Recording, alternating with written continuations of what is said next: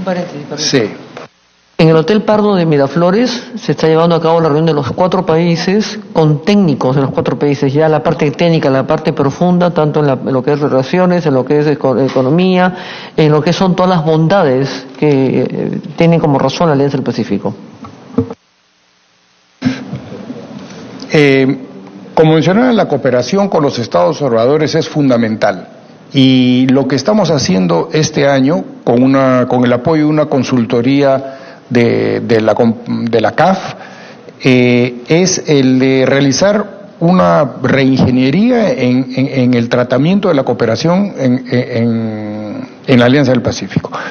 Hasta ahora la cooperación en la Alianza y los proyectos de cooperación que se han manejado en la Alianza del Pacífico con los países observadores eh, se han desarrollado sobre la base de proyectos presentados por los observadores de manera espontánea y que podían o no encontrar conveniente los países de la Alianza del Pacífico. Sin embargo, nosotros lo que hemos hecho este año y ya lo hemos conseguido es, y está en este portafolio de proyectos de la Alianza que se les ha repartido, por primera vez lo que hemos hecho, aunque parezca lo más lógico, es que los diferentes grupos de trabajo de la Alianza del Pacífico sean aquellos que generen sus eh, necesidades de cooperación sobre la base de sus objetivos. Entonces, eso es lo que se les solicitó, eso es lo que han hecho y eso es lo que se está presentando en este foro técnico de cooperación. Em, además, la Alianza del Pacífico ha querido, a partir de este año, presentarse no solamente como receptor de cooperación, sino también como otorgante de cooperación. Nosotros entre los 55 países observadores tenemos, por supuesto, muchos de un desarrollo relativo mayor, pero también hay muchos observadores que podrían beneficiarse de la cooperación que pueden brindar los países de la Alianza. Y esto no solamente beneficia un posicionamiento eh, regional, sino además un posicionamiento global de la Alianza como un ente cooperante. Eh, quiero mencionar en relación al foro de cooperación que realmente ha sido un éxito porque de los 55 países observadores hemos conseguido que vengan de capital 45 delegaciones. Eso es realmente muy alto y, de alguna manera debo reconocer que excedió nuestras expectativas. Eh, nosotros esperamos que este foro sea un entregable mm, importante, principal en la, en, la cumbre presidencial del 6 de, de julio, por, por, por, por, la dimensión, por, por la trascendencia que tiene, no solamente de, de esta, de, de, un poco dar un giro en el manejo de la cooperación, sino porque eh, el resultado de, de, las reuniones de ayer y hoy ya hemos visto que están dando resultados, eh, digamos, inmediatos en, en, el sentido de eh, acordar ya este, proyectos con diferentes países y organizaciones.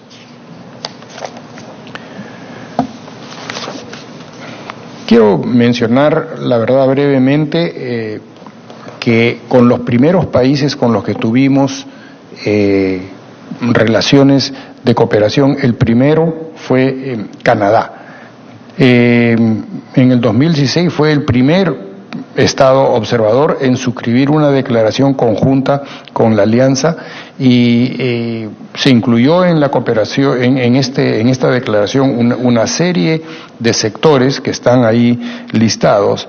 Eh, sin embargo, no se ha podido trabajar en todos de ellos, pero con Canadá sí se ha avanzado en temas de educación y medio ambiente por un monto de 18 millones de dólares. No es mucho, pero eh, esta, esta relación que tiene la alianza con Canadá tiene un, gran potencial y que se verá en los próximos años.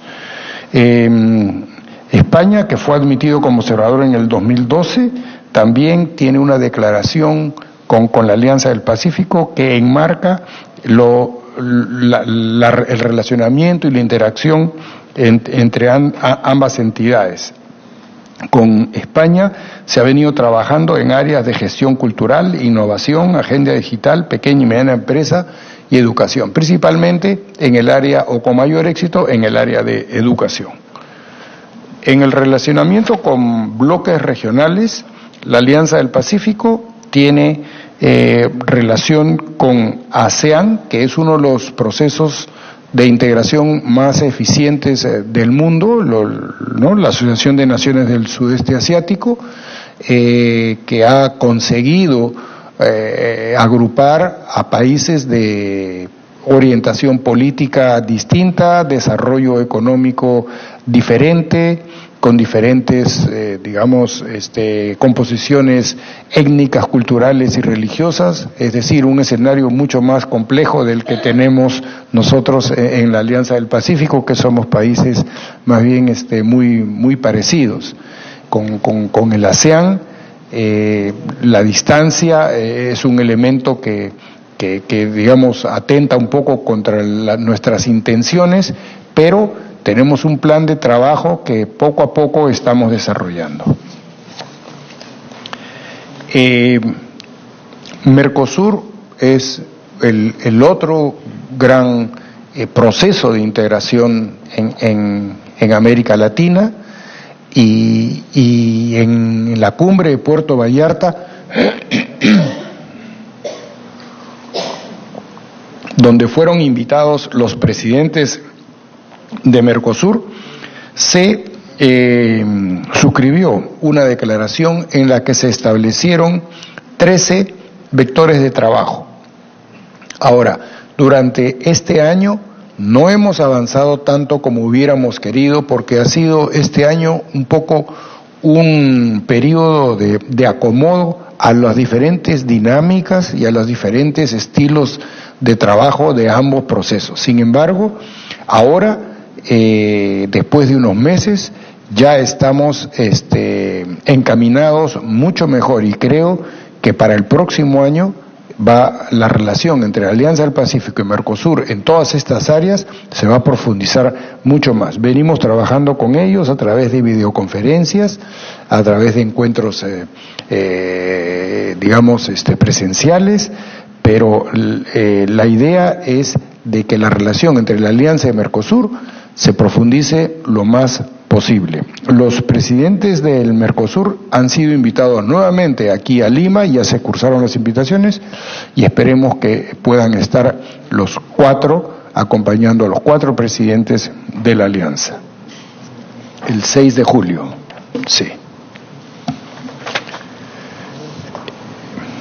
Eh, APEC es un, es un proceso conocido por todos, en, los cual, en el cual eh, participan de, América Latina tres de los cuatro países de la alianza, eh, eh, México, Chile y el Perú. Colombia todavía no nos acompaña, pero los países de la alianza dan a Colombia todo el apoyo y todo el esfuerzo para que sus aspiraciones de ingresar a la PEC se, sean eh, eficientes.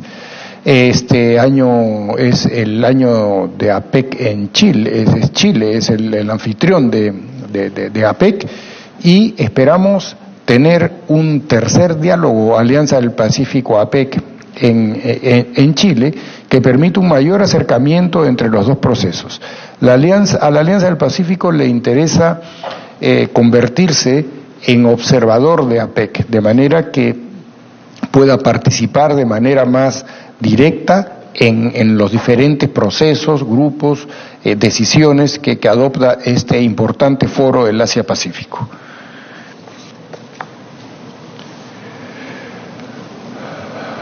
Un aspecto, un aspecto práctico que, que viene funcionando eh, muy bien y, que además viene significando no solamente una mejor coordinación, sino un ahorro en nuestros este, recursos que siempre eh, es este, positivo, es la, la presencia internacional de la alianza a través de embajadas conjuntas y de oficinas comerciales conjuntas. Ahora, em, entendemos eh, como embajadas conjuntas eh, el compartir eh, la infraestructura y algunos servicios de manera que eh, se pueda hacer más eficiente y más digamos, este, en términos presupuestales más viable y así tener un mayor alcance, mayor presencia en mayores partes, en mayor, en otros en otras regiones.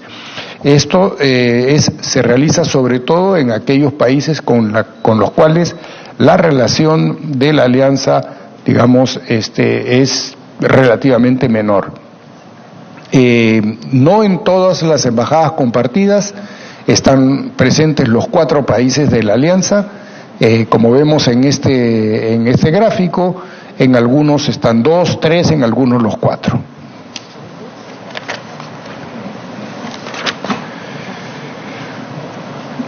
Eh, la calidad de Estado asociado en la Alianza eh, del, Pacífico eh, fue creada para dar un nivel de relacionamiento de algunos países más estrecho que el de observadores sin llegar a que sean miembros plenos. Y en este sentido, Estado asociado es el país que tiene un acuerdo comercial con los cuatro países de la alianza. Disculpan, eh, quiero dejar constancia la presidencia del congresista Víctor Andrés García Belaunde, eh, que va a, va quedarse un ratito y va a tener que salir y regresar, está con una emergencia en este momento, pero va a estar, va a regresar, va a estar con nosotros. Bienvenido, congresista. Em, los primeros cuatro países que han iniciado este proceso de, para convertirse en estados asociados de la Alianza del Pacífico son Australia, Canadá, Nueva Zelanda y Singapur. En este sentido, estoy seguro que el día de mañana en las presentaciones que haga el MINCETUR y PROMPERÚ se tratará más en detalle el tema, pero tenemos que mencionar que la intención que tenía la alianza era la de concluir estas negociaciones en noviembre del año pasado. Sin embargo, eh, los cambios de gobierno en México y en Colombia eh, hicieron que por términos de acomodo de, nuevos estamentos, de nuevos eh, funcionarios, hubiera un, algunas modificaciones al interior de, lo acordado de, eh, comercialmente en los países de la alianza y en este momento estamos en un proceso de reflexión, lo llamamos así de reflexión y lo, en realidad estamos, bueno, es, es eso, pero estamos eh, reestructurando un poco la posición al interior de la alianza para retomar el contacto con los asociados quienes este, han entendido estas circunstancias y bueno, está afectando eh, en el, en sentido de que hemos de alguna manera no pudimos concluir eh, en, el en, el plazo previsto que queríamos noviembre, pero esperamos que en las próximas semanas ya se puedan eh, definir posiciones de manera que antes de la cumbre de, Lima podamos retomar el contacto con Australia, Canadá, Nueva Zelanda y Singapur y eventualmente eh, concluir las negociaciones en el futuro cercano. Eh, en este sentido, por ejemplo, eh, en este sentido es importante mencionar que Ecuador y Corea, en sentido inverso, Corea y Ecuador solicitaron constituirse en estados asociados. con Corea se ha acordado que se iniciarán las negociaciones tan pronto se terminen las que están en curso y, y, con Ecuador siendo un país con características eh, distintas por ser vecino y por ser uno de los candidatos, eh, digamos, este, originarios de, de, lo que se quería eh, en, en, términos de composición de países de la alianza, se tiene un acercamiento, por supuesto, mucho más estrecho y mayor.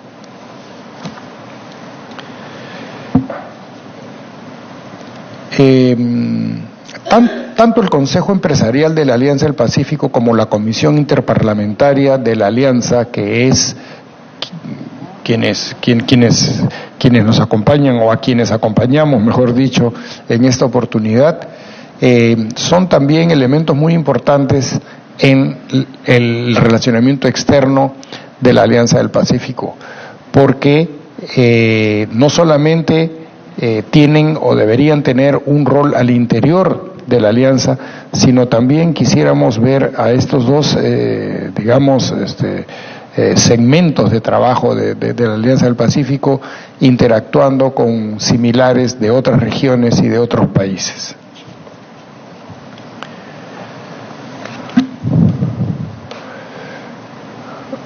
como mencionamos, la presidencia peruana tiene como una de sus prioridades el revitalizar el rol de los estados observadores, es decir, aprovechar más el, la presencia o la, digamos el privilegio de tener eh, de que la alianza tenga tanto, tanta atención internacional. Como mencioné al principio, de los 55 estados observadores, la alianza en la práctica solo tenía relación con una decena de ellos.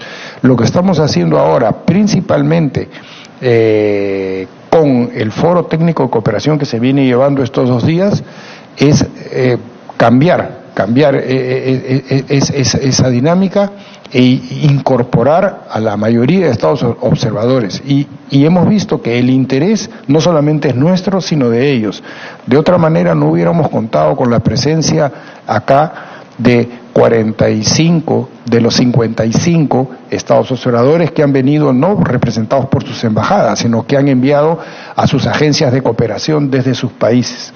Entonces, eh, yo creo que estos dos días que, de reuniones han sido o están siendo fundamentales para que a partir de, mañana tengamos una nueva relación con todos los estados, con todos los estados observadores.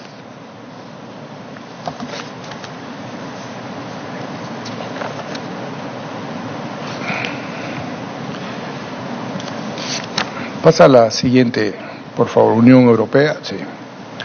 Em, Unión Europea evidentemente es un actor muy importante para, para la Alianza del Pacífico, individualmente para cada uno de nuestros países y también como bloque.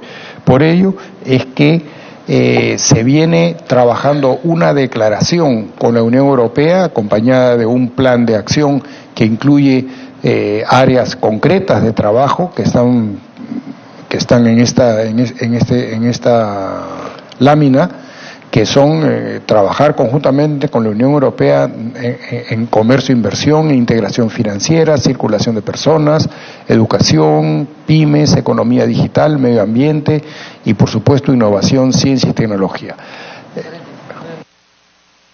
No es el caso, pero estamos llevando la situación entre la formalidad y la informalidad. Quiero dejar constancia a la presidencia de la congresista Luciana León del Partido Aprista Peruano. Bienvenida, congresista.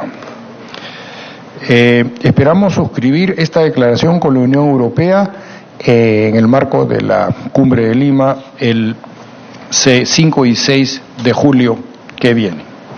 Adicionalmente, eh, hemos en, en este año trabajado una declaración y plan de trabajo con Japón, que es país que muy importante para los cuatro países miembros de la alianza y que se lo, hemos eh, acercado y, creemos que el beneficio que puede traer esta relación con Japón es muy importante.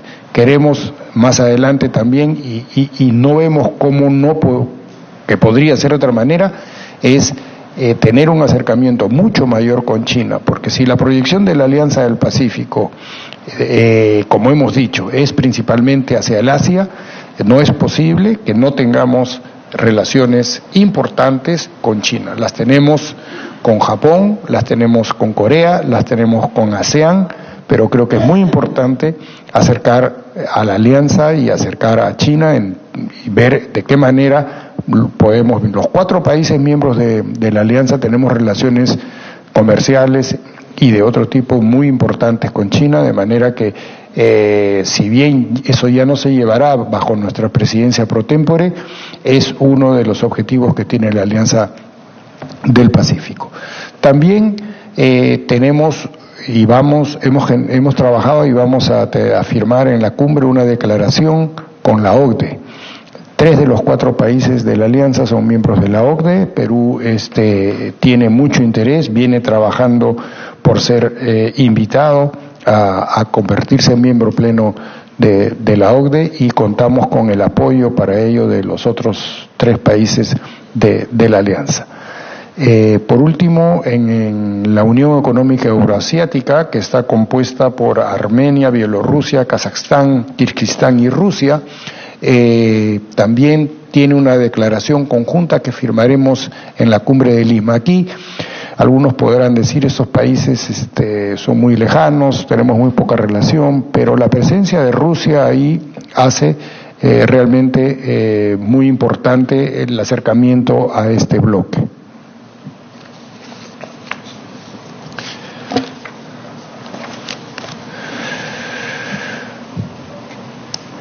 Eh, para finalizar, simplemente quiero resaltar lo que ya hemos dicho, que el relacionamiento externo es un espacio esencial del proceso de la Alianza del Pacífico. Nosotros queremos utilizar todo lo que esté a nuestro alcance para vincularnos con otros países, con otros procesos y con otros eh, organismos, de manera que podamos eh, contribuir y facilitar el trabajo de la alianza, beneficiarnos de la cooperación, como ya lo he mencionado, y, repito eh, que aunque sea un poco redundante, en este aspecto es y será muy importante el foro de cooperación que estamos llevando a cabo ayer y hoy aquí en Lima, con una presencia tan importante de especialistas de 45 de los 55 estados observadores.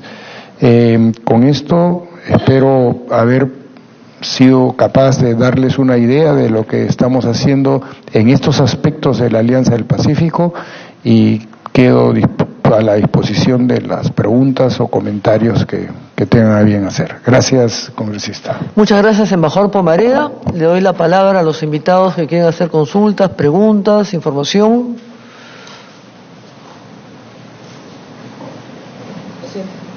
Perfecto.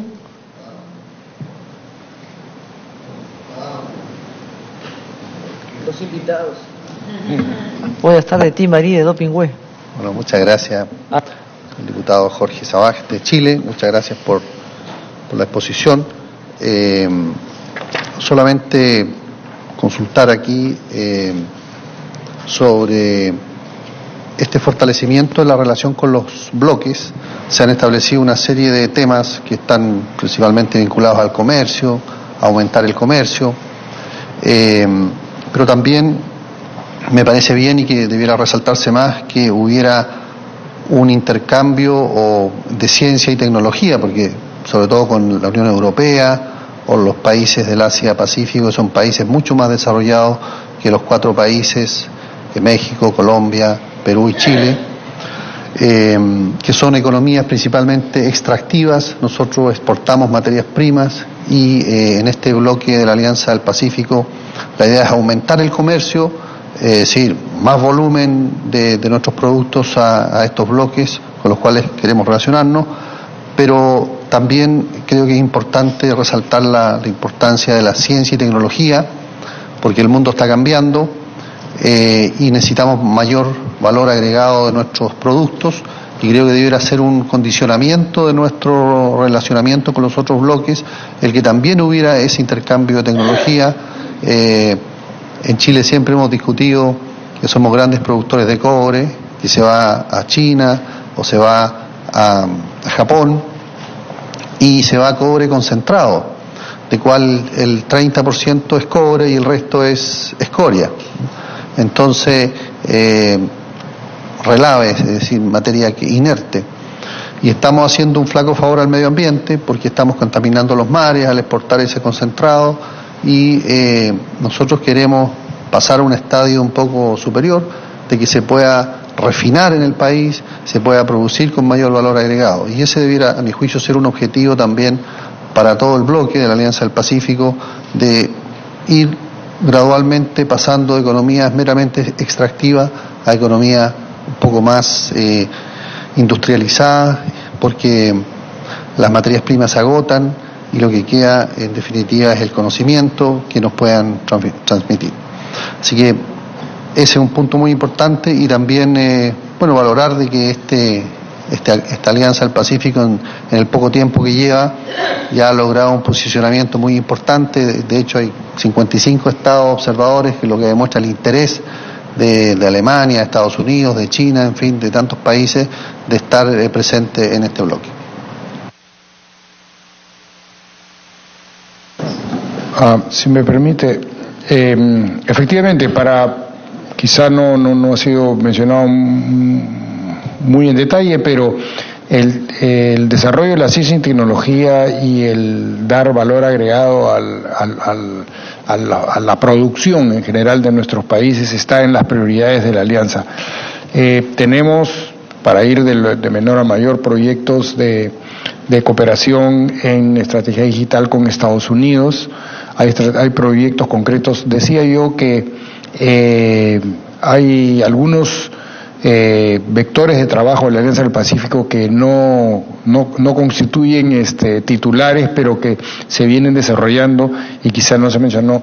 Eh, en la declaración de Puerto Vallarta, por ejemplo, y, debo decir que a iniciativa de Chile, pero adoptado con entusiasmo por el resto de países, también se incluyeron eh, de, aparte de Mercosur, se incluyeron este, los temas a trabajar en el área de la cuarta revolución industrial, en el área de, eh, de reducir la, la, brecha eh, digital, este, inteligencia artificial, el Internet de las Cosas, involucrar todo ello. Y en, en el segmento de, de proyección de la alianza al 2030, de la estrategia digamos, de la visión estratégica de la Alianza del Pacífico al 2030, uno de los cuatro eh, ejes de, trabajo es una alianza más conectada.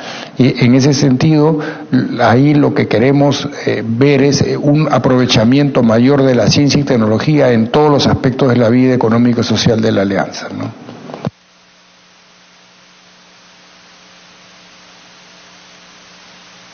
Con esta luz Salgado, de Perú. Gracias, Presidenta. En primer lugar, dar la bienvenida a nuestros distinguidos colegas que hoy nos acompañan.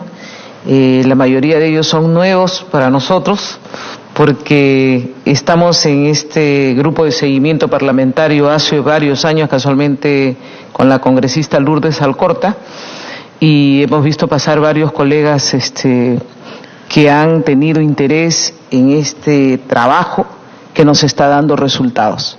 El grupo parlamentario lo que hace es un seguimiento de lo que el Ejecutivo eh, nos informa que viene tratando con los diferentes países. Y empujamos eh, la labor, apoyamos la labor desde nuestra relación casualmente parlamentaria, que muchas veces la diplomacia parlamentaria ayuda a la diplomacia de Cancillería de cada país. Y Muchas veces en reuniones de parlamentarios hemos llegado a avanzar temas que luego han tenido resultados entre el trabajo del Ejecutivo. Y creo que de eso se trata.